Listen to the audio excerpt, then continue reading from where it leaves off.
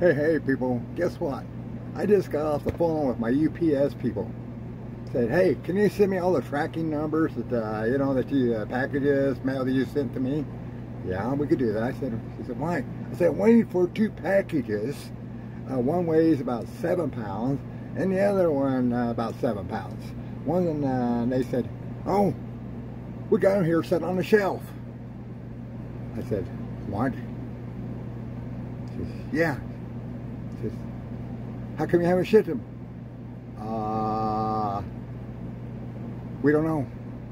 I said, could you please ship them to me and include the tracking number? And I'm paying for this service, people. Can you believe that? So went through all this hassle, checking around, waiting for these two packages to be mailed to me for two weeks, and they're sitting at the UPS store on the shelf. Could you imagine that? Great service. But it's for relief on my mind, because that's between six and seven hundred dollars I thought I'd lost. Today's service, there is none. Customer satisfaction, there is none. So that's the update. At least I got my packages coming. I'm a happy camper. Thanks for watching. I appreciate it. Enjoy your day. Enjoy your freedom.